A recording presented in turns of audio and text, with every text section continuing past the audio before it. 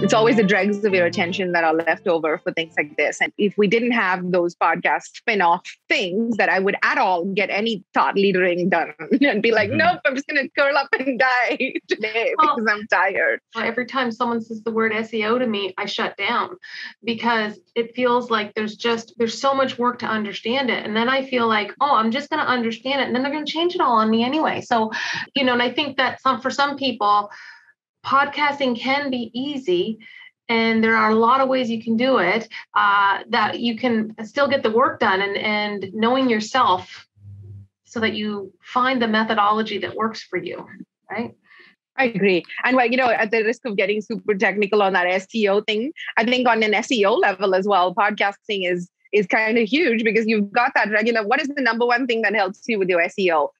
Detailed publishing, good publishing.